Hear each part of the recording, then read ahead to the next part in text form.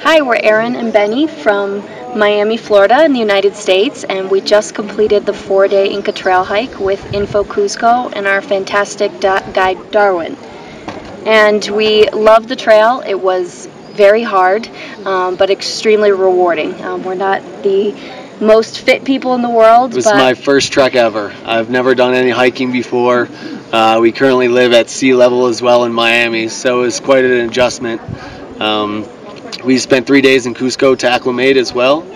Um, and the food during the trip was absolutely amazing. Um, there was tons of it. You don't need to bring snacks. You'll have more food than you know what to do with. Yes, we were fully catered to at same way as a five star hotel. Yeah, from I mean, the porters to the cook to the guide, everything that we could have possibly wanted or needed was taken care of, and, and then some. And then some. Um, be ready for to be woken up with a knock on your tent and a morning tea and be ready for snack time with homemade popcorn on the camp stove in the evening and fantastic meals and some surprises along the way. Um, and we can't say enough good things about our guide Darwin. He was not only knowledgeable and friendly, we always knew we were safe uh, and in good hands, but he was fantastic company. We really enjoyed getting to, to know him and to spend time with him.